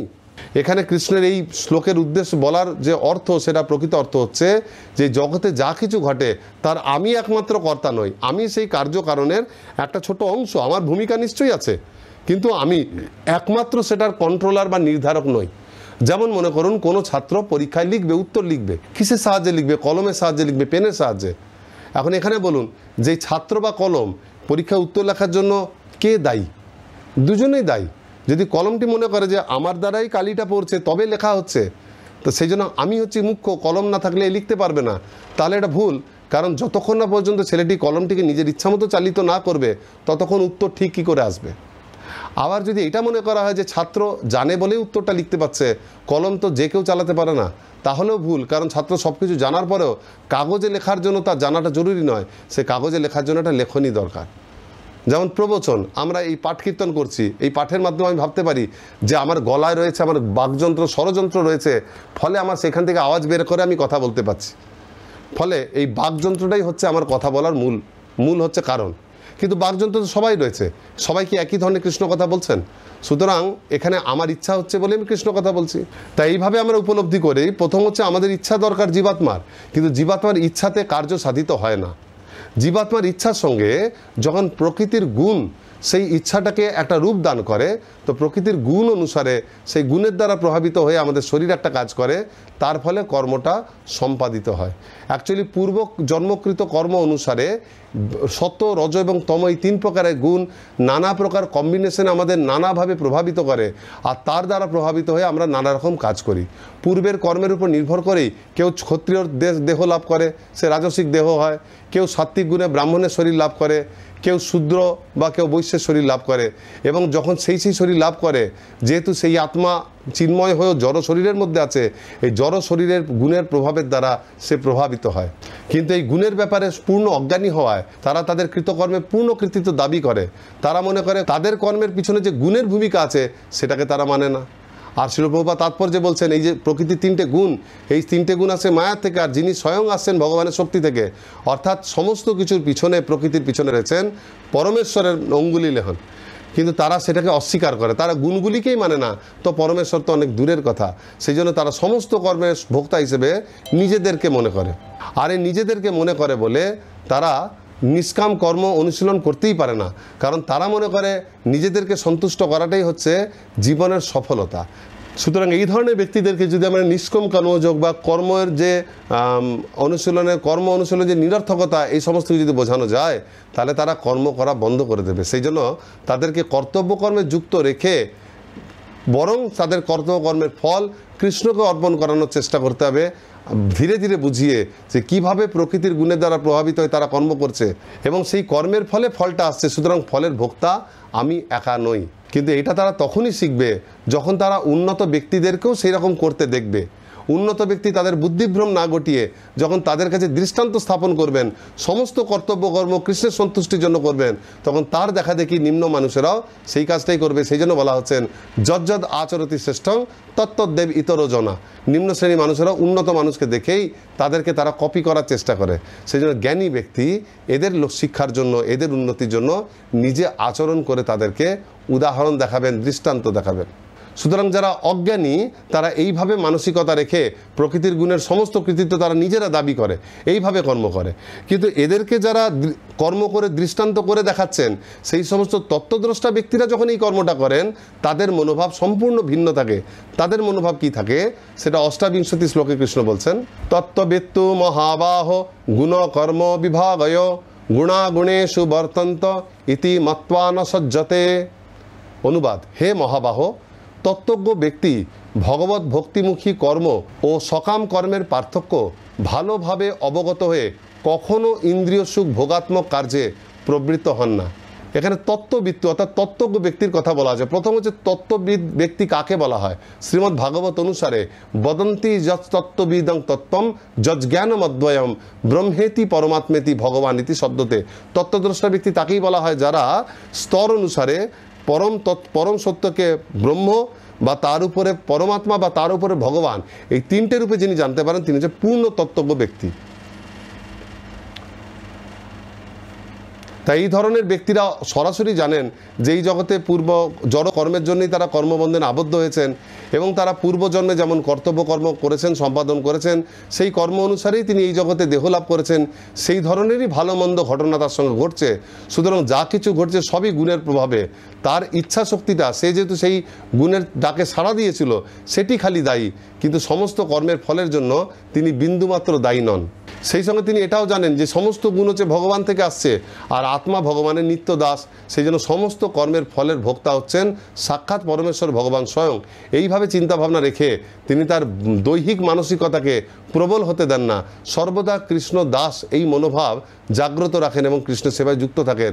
এবং তার জন্য কিন্তু সক্রিয় আমাদের মানসিকতার প্রয়োজন। স্বাভাবিক দৈহিক মানসিকতা দিয়ে এইভাবে কৃষ্ণের দাসত্ব উপলব্ধি করা সম্ভব নয়। মনে করুন কাউকে প্রশ্ন করা হচ্ছে যে ভারতের রাজধানীর নাম কি?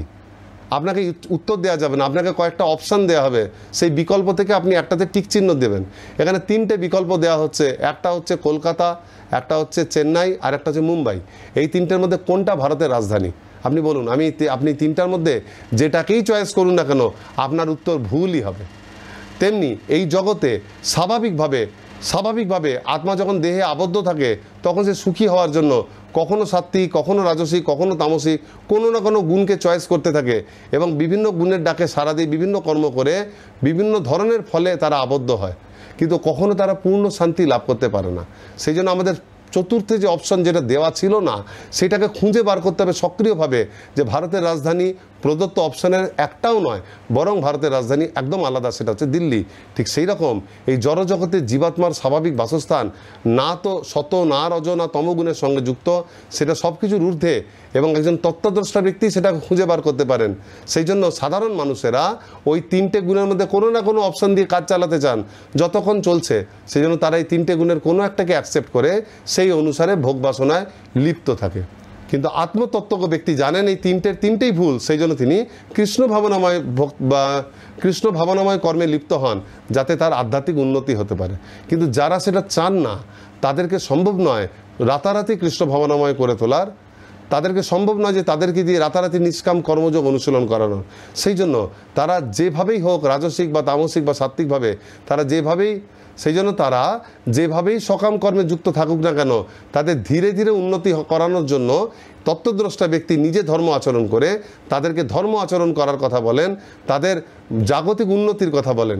জাগতিক উন্নতির লোভে তারা যখন বেশি বেশি ধর্ম আচরণ করেন, তখন তাদের ক্রমশ শিক্ষা প্রদান করা হয় যে ধর্ম আচরণ করার মূল উদ্দেশ্য হচ্ছে ভগবানকে সন্তুষ্ট করা এবং ক্রমে ক্রমে তাদের মানসিকতা যখন কৃষ্ণর প্রতি আসক্ত হয় তখন তারা ধীরে ধীরে উন্নত স্তরে উপনীত হন। তখন তারাও তত্ত্বদ্রষ্টা ব্যক্তির মতো উপলব্ধি করেন যে আমাদের কৃত সমস্ত কর্মের পিছনে প্রকৃতির গুণের প্রভাব, প্রকৃতির প্রভাব, এর সেই প্রকৃতির মালিক হচ্ছেন ভগবান।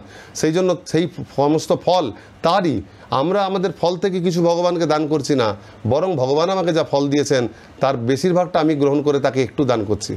এই ধরনের মানসিকতা তখন তাদের গড়ে ওঠে। তখনই তারা কর্মবন্ধন থেকে মুক্ত হন। কিন্তু প্রাথমিক স্তরে এই ধরনের মানসিকতা এক ধাপে গড়ে তোলা প্রায় অসম্ভব।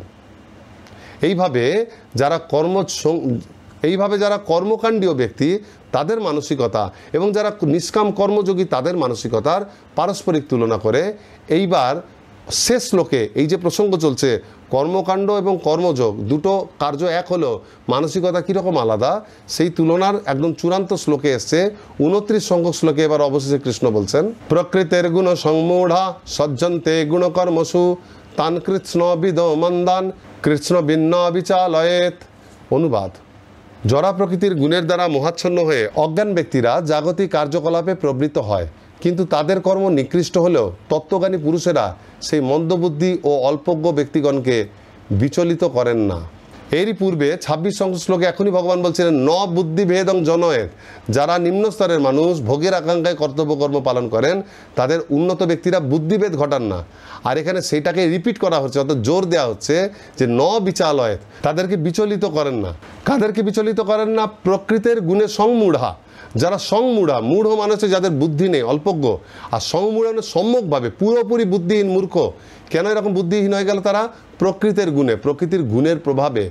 অর্থাৎ তারা জড়জাগতিক ক্ষেত্রে বড় বড় পণ্ডিত হতে পারেন। কিন্তু আধ্যাত্মিক বুদ্ধির বিচারে তারা মূঢ় ব্যক্তি। কারণ তারা জড়জাগতিক গুণের থেকে প্রাপ্ত ফলগুলিকেই জীবনের শ্রেষ্ঠ প্রাপ্তি বলে বা পরম প্রাপ্তি বলে মনে করেন। তো এই ধরনের ব্যক্তিরা, তারা কি হয় না সজ্জন্তে কোনো কর্মসু? তারা গুণের প্রভাবে যে কর্মগুলো, সেই কর্ম করার প্রতি আসক্ত থাকে, অর্থাৎ সকম কর্মের প্রতি তারা প্রবলভাবে আসক্ত থাকে। এই ধরনের ব্যক্তিরা কীরকম হয়? শ্রীমদ্ ভাগবতে দশম স্কন্ধে এই ধরনের ব্যক্তিদের উদাহরণ দিয়ে বলা হচ্ছে যশাত্ম বুদ্ধি কুণপে ত্রিধাতুকে স্বাধি কলত্রাদিষু ভৌমজ্যদি যস্তিত্ব বুদ্ধি সলিলেন কর হিচিত জনে সব বিজ্ঞেশু স্বয়েব গোখর।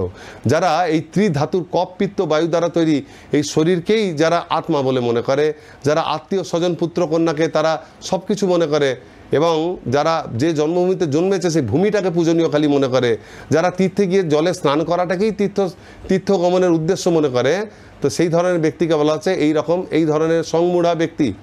তার সয় তারা গরু বা গাধার মতো তাদের বুদ্ধি। এই ধরনের সাধারণ বদ্ধ জীবাত্মার ক্ষেত্রে জড় সুখ ভোগ হচ্ছে অপরিহার্য। এই জড় সুখ ভোগ না করার কথা তারা ভাবতেও পারেন না। একমাত্র উন্নত বা শুদ্ধ ভক্ত পূর্ণ মাত্রায় যখন কৃষ্ণ ভাবনাময় লাভ, কৃষ্ণ ভাবনাময়ের যে আনন্দ, সেই আনন্দ আস্বাদন করেন, তখন তিনি এই জড় ভোগ থেকে সম্পূর্ণরূপে দূর হয়ে যান। কিন্তু প্রাথমিক স্তরে সেই আনন্দ আস্বাদন করা সম্ভব নয়। তাই ভক্তির প্রাথমিক স্তরে যারা কৃষ্ণ ভাবনাময় সাধক, যারা কৃষ্ণ ভাবনায় যুক্ত হয়েছেন, তাদের মধ্যেও কিন্তু এই ধরনের জড় ফল ভোগের একটা আকাঙ্ক্ষা দেখা যায়। উদাহরণস্বরূপ দেখবেন ভক্তরা ভালো প্রসাদ খোঁজে। প্রসাদ প্রসাদ। প্রসাদের মধ্যে আমরা সবসময় কৃষ্ণকে দর্শন করব। কখনোই সম্ভব নয় যে কৃষ্ণকে অর্পণ করা এই নিম, সস্তার প্রসাদ আর দামি প্রসাদ, এই দুটোর দুটোর মধ্যে কৃষ্ণ কি আলাদাভাবে কৃপা করবেন? এটা অসম্ভব। কিন্তু তথাপি আমরা কিন্তু প্রসাদের গুণমান বিচার করি। আমরা শ্রবণ করি কোন কীর্তনটা সুন্দর, কোনটা সুন্দর নয়। এগুলি মনে হচ্ছে চিন্ময় জিনিস, কিন্তু এগুলো কিছুটা জড় সুখ কারণ যদি কীর্তন সবসময় চিন্ময় সুখ হিসেবে আমরা দেখতাম, তাহলে একই সুরের কীর্তন আমরা দিনের পর দিন শুনতাম বা বেসুরা কীর্তনও আমাদের অতটাই ভালো লাগতো, কিন্তু তা হয় না। অর্থাৎ আমরা এগুলি চিন্ময় হলেও আমরা এগুলিকে জড় দৃষ্টিতে দেখি। আসলে প্রাথমিক স্তরে সাধকেরা যেহেতু জড় অস্তিত্বের মধ্যে রয়েছে, সুতরাং জন জড় গুণের দ্বারা তারা প্রভাবিত থাকে। যদিও বুদ্ধির দ্বারা তারা উপলব্ধি করে, কিন্তু তারা সেইটা সঙ্গে সঙ্গে অ্যাপ্লাই করতে পারে না। সেই জন্য প্রথমে তাদেরকে কৃষ্ণ ভক্তি এই জড় ইন্দ্রিয়গুলির মাধ্যমেই গ্রহণ করতে হয়। জড় ইন্দ্রিয়ের চোখের দর্শনের দর্শন মানে আলোক, বর্ণ, রূপ, রস, গন্ধ, স্পর্শ, এগুলোর মাধ্যমেই তাদেরকে কৃষ্ণ ভক্তি বুঝতে হয়। আর এইগুলো যেহেতু ভালো মন্দের বিচার করে, সেই জন্য তাদেরও প্রথম দিকে কৃষ্ণ ভক্তির ভালো মন্দগুলি মনে হয়, জড় দৃষ্টিতে সেগুলিকে ভালো মন্দ বলে মনে হয় এবং তারা বিচার করে। ঠিক যেমন কৃষ্ণ, এই জড়জগতের সমাজে ধর্ম, অর্থ, কাম এবং মোক্ষ পরপর এই চারটে পুরুষার্থ বা জীবনের লক্ষ্য স্থির করেছেন। কিন্তু বর্তমানে মোক্ষ হচ্ছে সর্বাধিক, সর্বোচ্চ। কিন্তু যে ব্যক্তি এখনই মোক্ষ লাভের জন্য আগ্রহী নয়, তাকে নিচেরগুলি বেকার এরকম বলে বিভ্রান্ত করা উচিত নয়। বরং তাকে এখন ধর্ম, অর্থ বা কাম অনুশীলনে আসক্ত আমাদের করা উচিত বা উৎসাহিত করা উচিত। ক্রমে ক্রমে, অন্তত যেহেতু তারা ধর্মের পরিধির মধ্যে সুখভোগ করছে, তো এক সময় তাদের উন্নতি হবেই, যদিও সেটা হবে খুব ধীর গতিতে। কিন্তু তা বলে উন্নত ব্যক্তি তাদের কাছে নিম্ন স্তরের যে বাস্তবতা, সেটা উদ্ঘাটন করতে যান না। আবার তাদের ওই নিম্ন স্তরের কর্ম অনুশীলন করতে দেখে নিজেও তাদের মতো গিয়ে সেই কর্মে গিয়ে পড়েন না। তিনি তার কৃষ্ণ ভাবনাময় কর্মের শ্রেষ্ঠত্ব জানেন, সেই জন্য তিনি নিজে সেই শ্রেষ্ঠত্ব অনুশীলন করেন, সেই শ্রেষ্ঠ কর্ম। কিন্তু লোককে যতটা পারেন সেই সেবাতে যুক্ত করেন, কিন্তু তাদের সেই অজ্ঞ ব্যক্তিদের সমস্ত কিছু ব্যাখ্যা করতে গিয়ে তাদের ভ্রমিত করেন না। আর সেই সমস্ত ব্যক্তিরাও ধর্মের পরিধির মধ্যে থেকে ভোগ করার ফলে সকাম কর্ম করার ফলে ধীরে ধীরে তাদের উন্নতি হতে থাকে। এই প্রসঙ্গে শিলপ্রভুপা তার তাৎপর্যে একটি জোরালো মন্তব্য করছেন যে, এই ধরনের নিম্ন স্তরের ব্যক্তিরা, তারা যেহেতু কৃষ্ণ ভাবনার গুরুত্ব বোঝে না, তাই তাদের সেটা বোঝাতে যাওয়া হচ্ছে সময়ের অপচয়। তাই কৃষ্ণ তাদেরকে বোঝাতে মানা করেছেন। কিন্তু তিনি বলছেন যে, কৃষ্ণ ভক্তরা কৃষ্ণ থেকেও বেশি কৃপালু, তাই তারা নিজেদের সময় ব্যয় করেও, তারা বিপদের ঝুঁকি নিয়েও, সেই সমস্ত মূঢ় ব্যক্তিদের উদ্ধারের জন্য তাদের কৃষ্ণ ভাবনাময় করে তোলার প্রচেষ্টা করেন। অ্যাকচুয়ালি কৃষ্ণ চান, তারা যে কৃষ্ণের ইচ্ছার বিরুদ্ধে কাজ করছেন, এটা কিন্তু অ্যাকচুয়ালি কৃষ্ণ ইচ্ছার বিরুদ্ধে নন। কৃষ্ণ চান, তারাও কৃষ্ণ ভাবনাময় হয়ে উঠুক, কিন্তু কৃষ্ণ তাদেরকে জোর করে করতে চান না। মানে অনেকটা এইরকম, কোনো ব্যক্তির যদি প্রিয়জন কেউ হাসপাতালে ভর্তি থাকে, কোনো ট্রিটমেন্ট করবে, সুস্থ হয়ে ঘরে ফিরবে তো তার প্রিয় ব্যক্তি সবসময় চান সে যেন এখনই ঘরে ফিরে আসুক। কিন্তু তার বলে সে জোর করে হসপিটালে গিয়ে যেমন তেমন করে তার ট্রিটমেন্ট হোক বা না হোক, জোর করে তাকে হসপিটালে বেড থেকে তুলে আনে না। তো কৃষ্ণ এইরকম, তাদেরকে জোর করে তুলতে চান না, তাদের মানসিকতা ট্রিটমেন্ট করে তাদেরকে নিয়ে আসতে চান। কিন্তু একজন কৃষ্ণ ভাবনাময় ভক্ত দেখেন যে এই মনুষ্য শরীর পশু শরীর থেকে উন্নত, পশুরা চাইলেও পারে না, কিন্তু মনুষ্য শরীরে মানুষ চাইলে পারে। তো এরা যদি এরকম ধীরে ধীরে ধীরে ধীরে জন্মের পর জন্ম ধরে একটু একটু ধর্মাচরণ করে উন্নত হয়, তা কত জন্ম তারা পার হয়ে যাবে? এরপর তাদের পশু জন্ম নিতে হবে, বারবার মনুষ্য জন্ম লাভ নাও হতে পারে। তো এইভাবে তাদের জন্মটা বেকার যাবে। সেই জন্য তারা তাদেরকে ফাস্ট ট্র্যাক তারা দ্রুত ট্রিটমেন্ট করতে চায়। ভক্তরাও চায় যে ট্রিটমেন্ট না করে যেন ঘরে না আসে, কিন্তু ট্রিটমেন্টটাই ধীরে ধীরে না করে স্পিডে করতে চায়। এবং অনেক সময় দেখা যায় স্পিডে কিছু করতে গেলে তার জন্য আমাদের অধিক কিছু ব্যয় করতে হয়, কিছু অধিক নিয়ম নিষ্ঠা পালন করতে হয়, অধিক ওষুধ কিনতে হয়, অধিক টাকা পয়সা খরচা করতে হয়, সেই জন্য তারাও তাদেরকে কৃষ্ণ ভাবনার অধিক নিয়মাবলীর মধ্যে ফেলেন। সবসময় তারা এই নিষ্কাম কর্মজ করানোর প্রতি আসক্ত করেন তাদেরকে তাদেরকে উৎসাহিত করেন তো তারা যা কিছু করছে কৃষ্ণ সেবায় যেন নিয়োজিত করে। এইভাবে যখন তারা কৃষ্ণ ভাবনাময় হয়ে যখন তারা কর্মযোগ অনুশীলন করবেন, তখন এই ধীরে ধীরে বহুনাম জন্ম নাম আনতে অল্প অল্প ধর্ম আচরণ করে উন্নত হয় যে ধীরগতির স্লো ট্র্যাক, সেইটাকে পার করে তারা কৃষ্ণ ভাবনার ফাস্ট ট্র্যাক বা দ্রুত গতির মধ্যে এসে পড়বে। ফলে তার জীবন তাড়াতাড়ি উন্নত হবে। তো এইভাবে এইভাবে কৃষ্ণ ভাবনাময় ব্যক্ত। অ্যাকচুয়ালি কৃষ্ণের যে প্রবল ইচ্ছা, যে অন্তিমে সমস্ত জীবাত্মা যেন কৃষ্ণ ভাবনাময় অধিষ্ঠান তাদের যেটা স্বাভাবিক রূপ, সেইখানে যেন ফিরে আসে, তিনি তারা সেটাকেই পালন করেন। কৃষ্ণের সন্তুষ্টি বিধানের জন্য তারা সেটিকে ত্বরান্বিত করতে চান মাত্র। সেই জন্য ভক্ত সর্বদা কৃষ্ণকে আনন্দ দান করতে চান বলে জড় কর্ম থেকে তো মুক্ত থাকেনি, বরং তিনি কৃষ্ণের প্রিয় ভাজন হয়ে থাকেন এবং প্রেম ভক্তি লাভ করে থাকেন। এই শ্লোক পর্যন্ত আমরা আজকে আলোচনা করলাম যে কর্মকাণ্ডের সঙ্গে কর্মযোগের কি পার্থক্য। পরবর্তী পাঠে 30 থেকে পঁয়ত্রিশ সংখ্যক শ্লোকের পর আমরা আলোচনা করব যে কর্মযোগ অনুশীলনের মাধ্যমে কীভাবে একজন সাধকের ক্রমশ উন্নতি ঘটে। হরে কৃষ্ণ।